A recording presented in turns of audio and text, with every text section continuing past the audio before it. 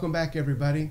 Uh, this is class number two in New Life in Christ.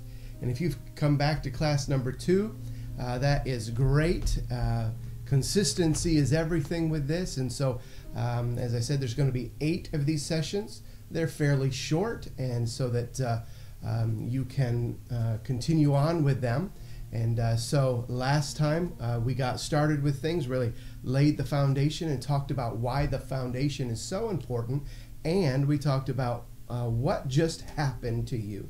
Uh, so uh, today we're going to step into the next one. If you've got your curriculum with you, you can open that. Remember, if you don't have the curriculum, you can, right there on YouTube uh, is a blue link and you can download it. As the blanks that you can fill in. Trust me, it'll really help you uh, remember. Sometimes we just hear it, uh, kind of comes in and goes out. But when we hear it, we look at something and we're actually following along and filling in, it really will help with uh, the amount of information that you can retain. Remember, if you've got questions, uh, send them to me uh, there at the email address. I'd be glad to help you if today's discussion or any of the others um, brings up questions in your heart, in your mind. Uh, so let us know. All right, so let's get started. Here we go. Father, in Jesus' name, give us understanding as we study your word uh, together today. In Jesus' name, amen. Amen. So this one is session number two again. It is called How Do I Talk to God? All right, so really, this is called prayer. Um, uh, and this is how we talk with God, how we talk to God, which, quite honestly, is an amazing thing if you stop and think about it. That the creator of the universe um, allows us, or we are allowed to, talk with Him. It's an amazing thing. And so uh, it's still mind blowing to me that we can talk with God. This is powerful. This is something that as you get started in, in this adventure with Christ, you're going to want to be practicing this and doing this and walking in this. So we're going to kind of uh, go over some things related to prayer, hopefully answer a bunch of questions uh, that uh, might come up with it and uh, go from there. So let's look at look at your paper. And uh, so what is prayer? It's one of those things, obviously, maybe you've, you've heard of that. I've heard of that. Everyone's heard of that. But what really, what is it? Um, at the top there, uh, of this session, we were created to have, here's the first blank, fellowship and communion with God. He created us for fellowship and communion with Him. In other words, uh, He wants to interact with you, His kid, His child, and He wants to talk with us. And so prayer is simply our method of communicating. Here's the second blank, and this is huge because it's communicating with God. Communicating with God.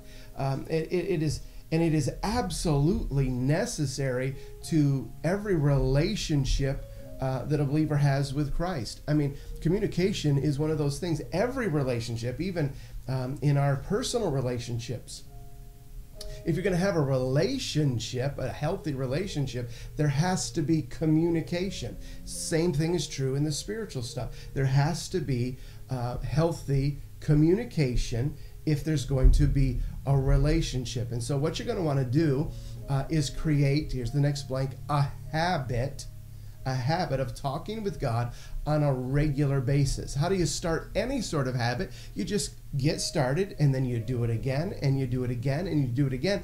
And eventually, what happens is it becomes a habit. This is one of those good habits that you and I, to have a good relationship with God, um, uh, that we need to get go, get going to have to to start up and so um, this habit of communicating with God Next section says, Why? So, why should I pray? Well, first off, the Bible tells us to. And there's a verse that I put right there on your paper, 1 Thessalonians 5, 5 17. And it says to pray without ceasing. Pray without ceasing. Second reason that we should pray is because Jesus did. And of course, we are followers of Jesus Christ. That means we we want to do what he did. And so we look at him and his life even here on earth um, as an example, as a model. Mark 1 uh, tells us that it says, Now in the morning, having risen a long while before the daylight, he went out and he departed to a solitary place, and there he prayed. And it's talking about Jesus. And so if Jesus needed to pray, if Jesus wanted to pray, then how much more for us is prayer an important, necessary part of this relationship with God? Third reason is that prayer does change things. All right, Acts chapter uh, 12. Um, there is this story. I won't take the time to, to read it to you, um, but uh, I want you to uh, to begin to practice uh, opening your Bible and finding uh, these things and looking them up and reading them. Now, if you don't know where Acts is, in the front of your Bible, there is always uh, like uh, an index and there's a page that tells you, a contents page that tells you where the books of the Bible are and what page they're on. And it is, uh, it is all just use that and find out where the book of Acts is. It's in the, uh, it is in the the uh, the New Testament. Yeah, Acts chapter 12 all right? And you find that and you just begin to read there. And it tells us this story and here's what the story is. Uh, the apostle peter was in prison uh, for preaching jesus by the way. And what was the church doing while he was in prison?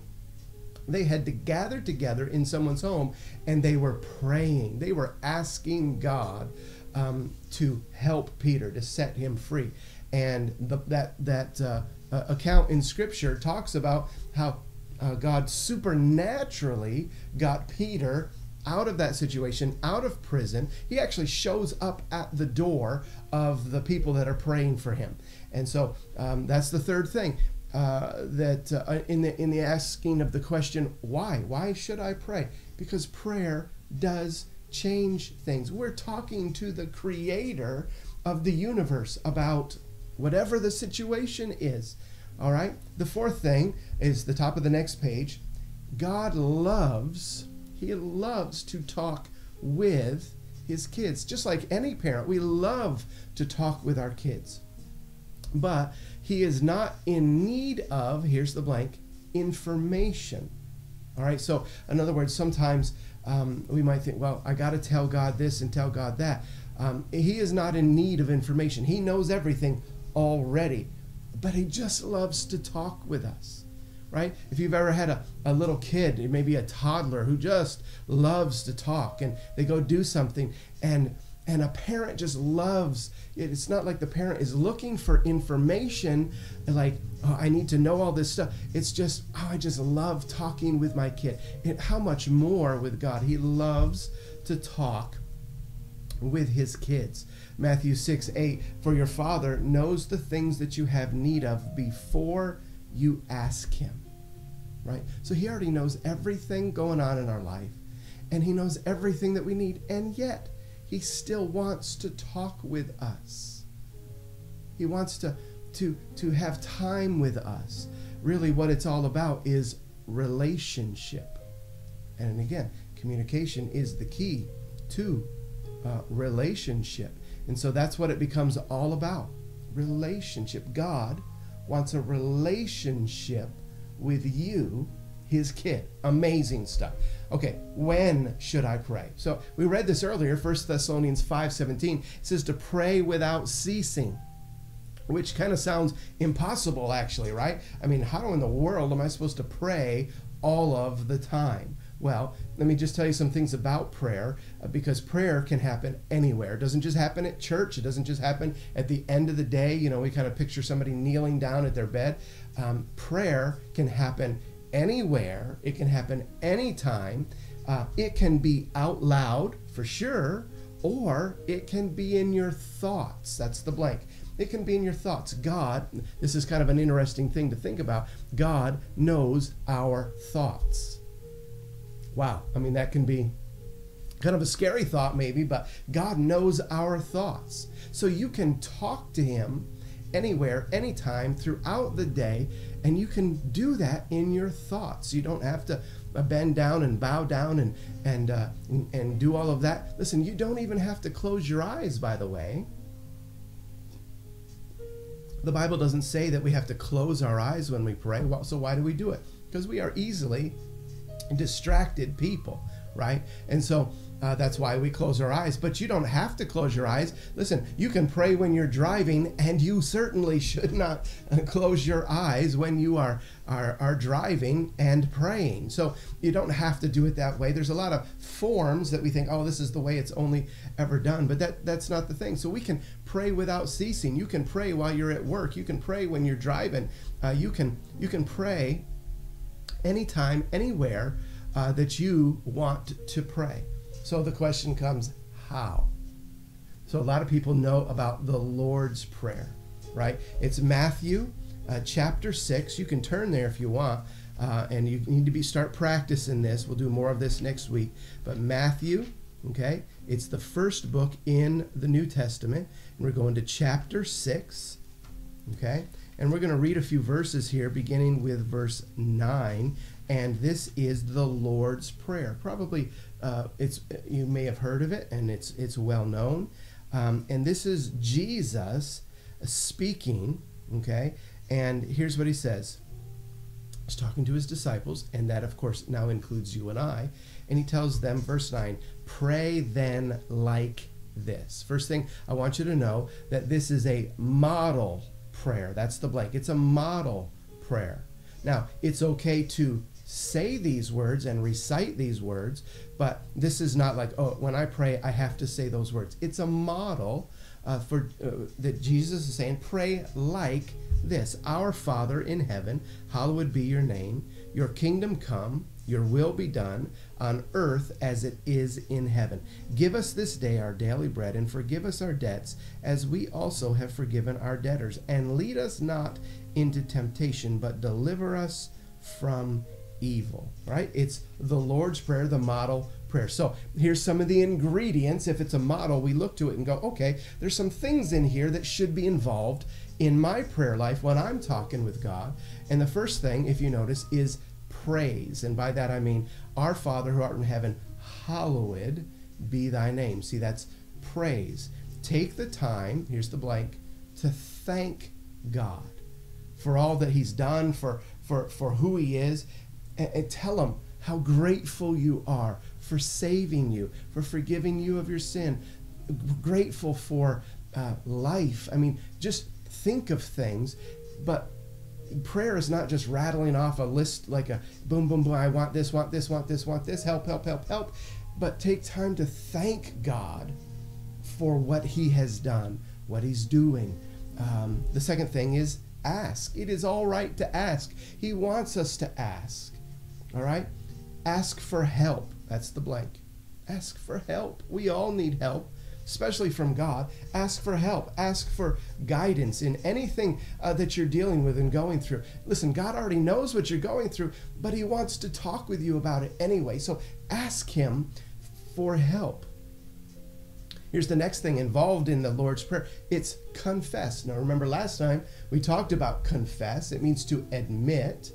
So confess your sin to God. Ask God to for, forgive you of your sin, maybe uh, some things that you did or thought or, or motives or something. Um, uh, confess your sin to God in your prayer time. God, I, I messed up again and I ask you, God, to forgive me of my sin. Right? Ask Him to help you to overcome whatever the sin is. God, I, I did that again. And God, I'm asking you to forgive me, but I'm also asking you to help me to not do it again.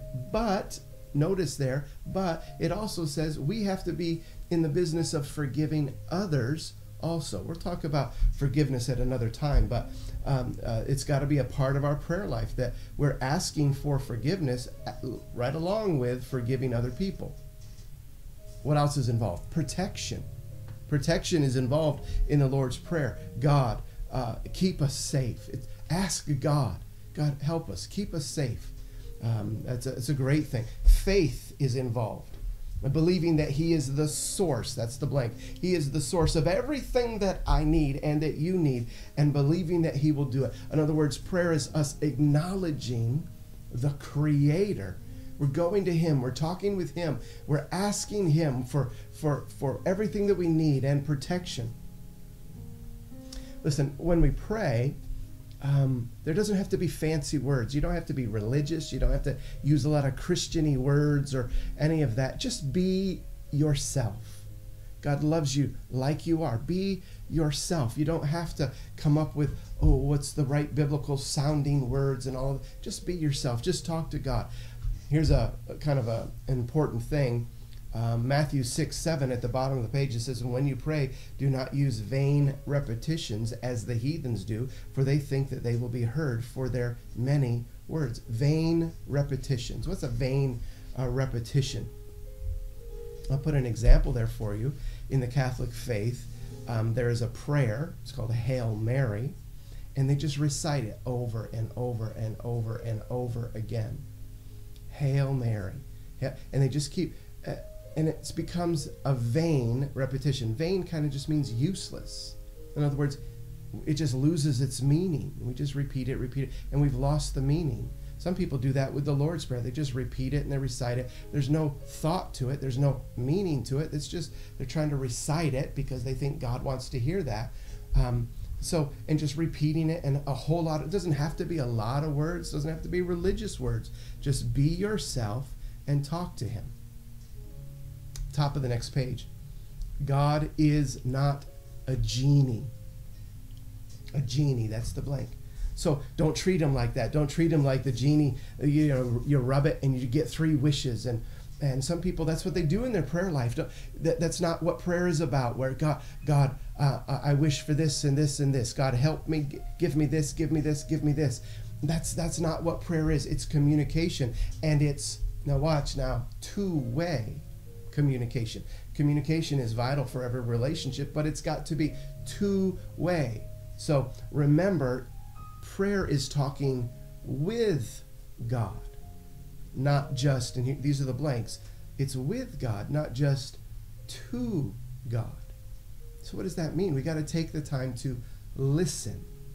Now, uh, soon we'll be talking about how to hear from God. We won't do that today, but probably in the next one how that so if we're going to listen well how do i hear from god? Listen it is possible to hear from god. And i'll tell you how next session.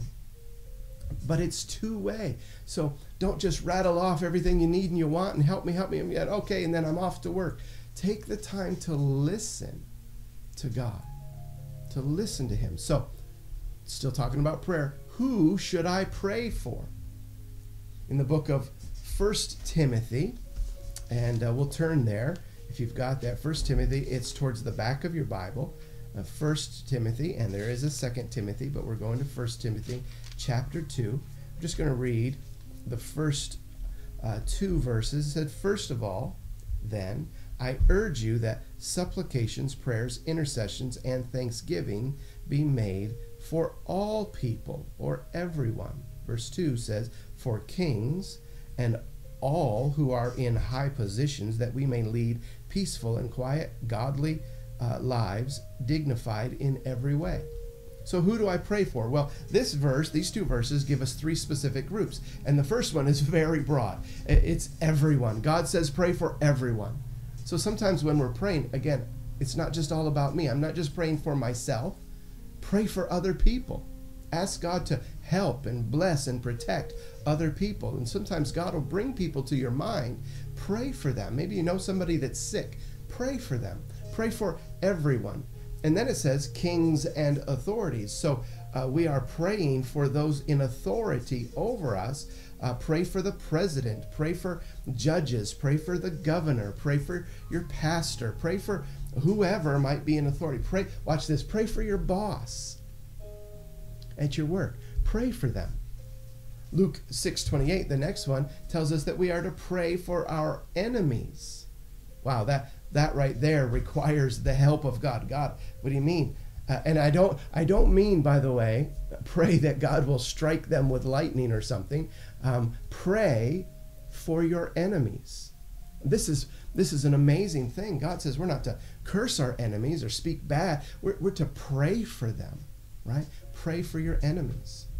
Uh, there's a, a verse right there about that, Matthew 5 44. But I say to you, love your enemies, bless those who curse you, uh, do good to those who hate you, and pray for those who spitefully use you and persecute you.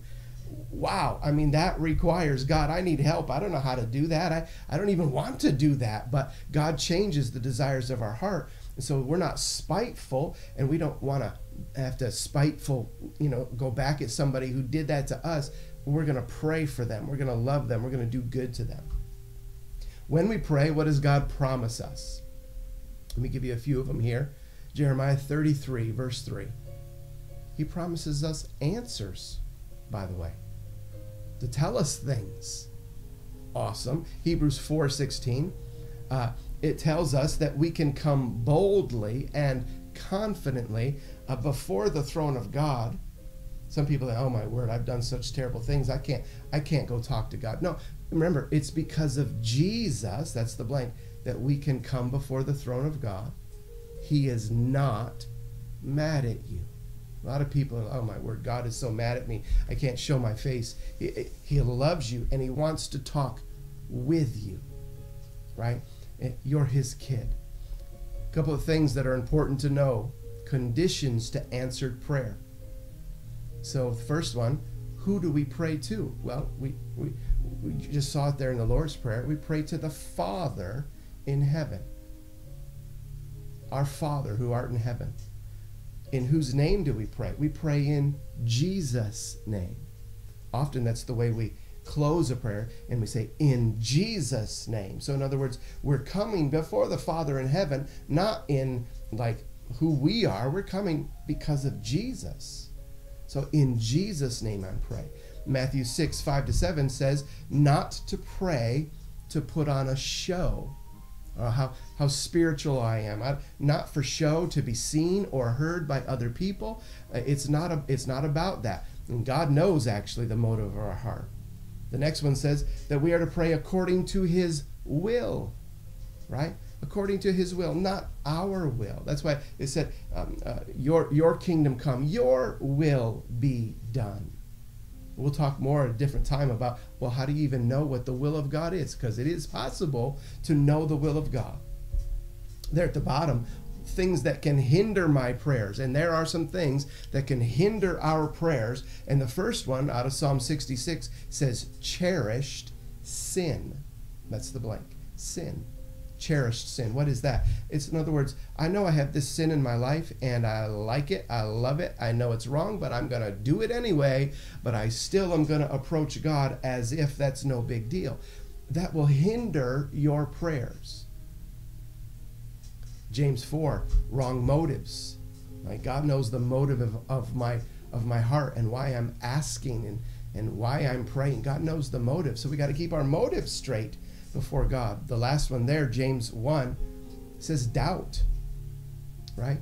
He who asks and doubts shouldn't think he would receive anything from the Lord, it says in there. You should go read these verses, by the way. I put them there. I'm not turning to them for the sake of time, but you should go through these and read these so you see what God has to say about prayer. So he, he, says, if you're praying, then don't doubt. Don't be like, oh, God, I ask you to, but I, yeah, you're probably not gonna. Yeah, that's not gonna happen. I pray, God, that they would get better and, and you would heal them. Yeah, but that's probably not going to happen. Don't do that. God, I believe you. So I'm talking to the Creator. So have faith, believe. On the top of the next page, this is like little homework, all right? It's kind of a, a matching thing, and you can you can do that on your own. Uh, but make sure you do it. Follow through with this stuff. Remember, be consistent, put in the work, and it will produce for you in your life. This is not something just, eh, whatever. Uh, go see what the scripture says and connect those things. Four essentials to prayer. Again, we already said this, but the first is God's will. God's will is revealed where? In His Word. What's His Word? The Bible. We can find the will of God in the Bible. The second thing is faith. So, what's faith? Faith is believing what God said is true. In other words, God, I believe you. That's faith. Watch, the Bible actually tells us that our faith will grow as we get to know Him and His Word. So even as we read the Bible, which we're going to talk about next time, your faith will grow. It's, it's, there's an amazing connection there the next thing, the third thing is patience. Some people say, oh, you only have to say it one time. Well, yeah, God hears us the first time, but sometimes God um, requires us to be persistent in our prayer. So keep praying, keep believing. Uh, there's a story there called The Persistent Widow. You should look it up and read it um, and, uh, and be patient. It's not like, hey, I'm going to snap my fingers. God, you better do it by such and such a time. That's not how it is. The fourth one is that we've got to come into prayer as we're asking, willing to hear the answer no. Don't presume to know what is best because uh, um, God knows what's best. And so sometimes if we're asking something, God knows if it's the best thing. And so maybe we're asking for a certain thing and the answer is actually no. And He doesn't give it to us. Why? Because He loves us and He knows what's best. Next section, personal application. So here, here's what a good thing to do. You should pick a set time. That's the blank. A set time every single day. Now remember, we we can pray anytime, anywhere, all through the day, but there should be a set time every day to talk with God. Like I'm going to give a little bit of time um, uh, and, and I'm going to do this. Now start just with a short time. It doesn't have to be three hours. Doesn't even, doesn't have to be one hour. Just take a little bit of time, and then you can let that time grow as you can and as you have time, um, and uh, uh, that you can you can talk with Him. You say, I don't have time for that. Listen, this is these are some things they're called spiritual disciplines, by the way. Prayer is one of them that you and I need to make the time. It is so important that you need to make the time, right? Best time, by the way, is in the morning. And we're going to talk about devotions next time we get together, but in the morning before your day starts. So maybe you need to get up a little earlier. Well, how do you do that? You go to bed a little earlier. How do you do that? You turn off the TV or the computer a little earlier so that so those things can happen so you can make the time in your life because we all listen, we all make the time for the things that are important to us. We're all busy, but we make the time for the things we love and the things that we make important. So make the time for this. It is it, you won't regret it. Some topics there um, about prayer just kind of help you get started. Uh, pray for your family, your friends, but don't forget to pray for your enemies. Pray for the government. Pray for your president. Pray for leaders. Uh, regardless of whether you, you like the, all their opinions or not, pray for them. Right? Pray for them. Pray for your church family. Pray for your pastor. Unsaved people, you know. Listen, it's God's will that people give their heart to Jesus Christ. So you know that you're praying in the will of God when you're praying, God, my friend at work or or somebody in my family, they don't know you yet. They're not born again yet. Pray for their salvation. Uh, pray for personal needs of your own life or your family or people that you know, people that are sick, people's marriages, people's finances, whatever it is. Pray for people uh, about what they need. And, and then go ahead and pray some verses of the Bible. This is an amazing thing to do. Colossians, I put one there, and kind of insert yourself right there. Now, those verses aren't all about us, but we kind of insert so we, we, we kind of realize that that that I'm a part of what God is trying to do and trying to speak to me. And so we can kind of pray some of those things. This stuff is is so important. Remember I said this is this is still mind-blowing to me. I've been saved for a lot of years now, but the privilege and the honor to be able to talk with God is I mean, it is just amazing. Um, don't miss it. Don't don't don't miss making this a habit. Um, just just do what you need to do to begin to talk with God. And there at the bottom, I just said, you need to remember, He loves you. He does love you. Remember, He loved you with the perfect love by sending His Son to die for you, to die for me. He loves you, and He loves to talk with His children. You are one of His children. So talk with Him but take the time to listen. Let's close in prayer.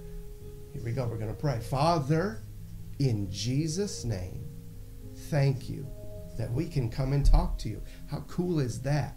God, we, we, we, can talk with the Creator, we can talk with the God who knows everything. And so, God, we thank you for your word. And I pray that your blessing over those that are listening. God, help them to put this into practice. Remember, Lord God, we're not just listening for knowledge's sake. We're going to do it. We're going to do your word. So I pray for courage and I pray for just the will to, to begin to create this habit of prayer. And I thank you for the honor that is ours to be able to talk to you. In Jesus' name, amen. By the way, that, that closing, in Jesus' name, amen simply means let it be done, let it be so. And in Jesus' name is the stamp of authority over what we just prayed. Because we're not, it's not in my name, it's in Jesus' name. Amen. God bless you. We'll see you next time. Thank you for being consistent. If you got questions, send them to us. God bless you.